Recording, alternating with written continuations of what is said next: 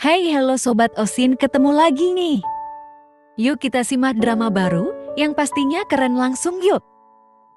Guys, saat suasana malam yang sangat indah, udara yang sepoi-sepoi, juga terangnya langit yang banyak bintang berbaris menambah ketenangan hati. Saat itu Song Hyo dan Seo Kyo tengah berjalan bersama sambil mengingat kejadian yang memalukan. Mereka ngobrol sambil berjalan. Di sini Seo Kyo tampaknya ingin lebih tahu Song Hyo bisa menemukan tempat seindah ini pemandangan yang menenangkan jiwa. Ia juga ingin tahu bagaimana kabar. Song Hyo mendengar ucapan Seo Kyo ia pun tersenyum manis. Ia menjawab, ia menemukan tempat indah ini hanya khusus untuk menyenangkan seseorang.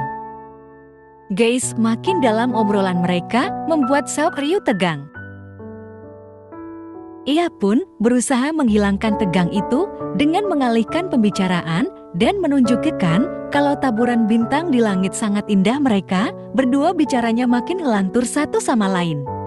Seong Hyo selalu menggoda Sok Ryu Guys, makin dalam obrolan mereka, makin membuat mereka delat dan makin tegang perasaannya saat angin menghembuskan bunga sakura itu.